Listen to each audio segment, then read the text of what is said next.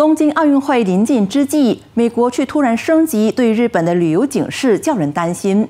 冬运冬奥会会不会没有美国代表？不过白宫人发言人普萨基星期二大派定心丸，强调美国依然支持日本举行奥运会，而美方也将对所有参赛运动员采取更严格的保护措施。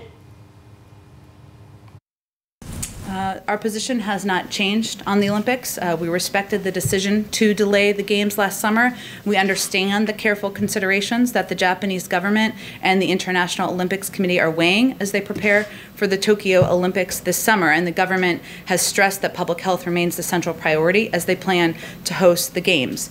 President proudly supports U.S. athletes. Uh, I would note that uh, we're talking about athletes, of course, traveling uh, under the Olympic umbrella, which uh, within their strict COVID protocols. This is one of the very limited categories of U.S. travelers that are actually planning on going to Japan for the Olympics. Uh, there are very specific entry and movement rules and procedures uh, which the organizers have laid out in order to ensure the protection of everyone involved.